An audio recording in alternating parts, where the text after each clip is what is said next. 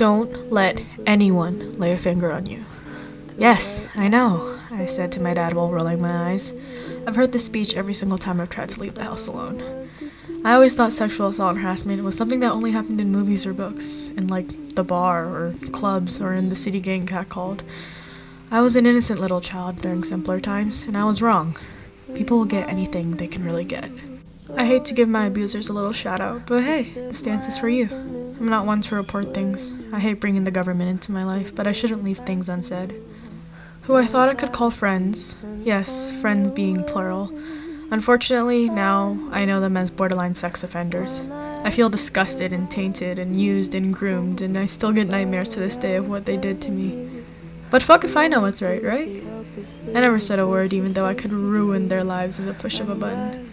There's a whole deeper meaning behind my story, and I'll get to that in another video. But for now, I'll let this speak for itself.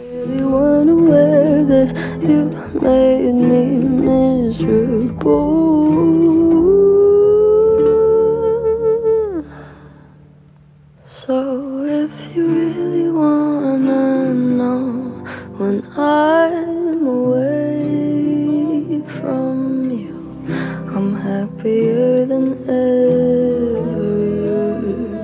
Wish I could explain it better. I wish it wasn't true.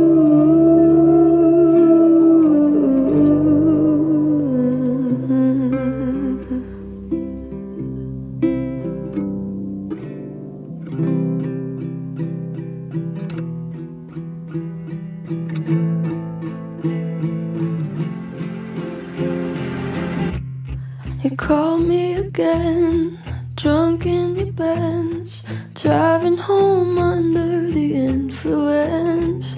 You scared me to death, but I'm wasting my breath. Cause you only listen to your fucking friends. I don't relate to you. I don't relate to you, no.